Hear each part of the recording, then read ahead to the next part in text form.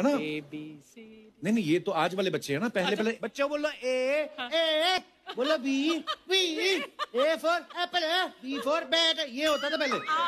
अब आ गया यूट्यूब वाला जमाना। अब बच्चे राइमिंग में करते हैं। A B C D E F G J K L M N N O P जो भी होता है मतलब ये इतनी राइमिंग में बच्चे सीख जाते हैं ना। कभी कभी टीचर अगर क्लास में पूछती ना बेटे खड़े होकर सुनाओ एबीसी तो पहले ही यहाँ से शुरू करते हैं। A B C D E ऐसे नहीं। सीधे सीधे। सीधे सीधे ए बी सी डी ई अरे, सीधे सीधे मतलब सिर्फ़ एबीसी नाचना नहीं है। फिर वो बच्चों के एक्सप्रेशन मेरे जैसे होते हैं। पहले वर्ड याद आता, फिर ए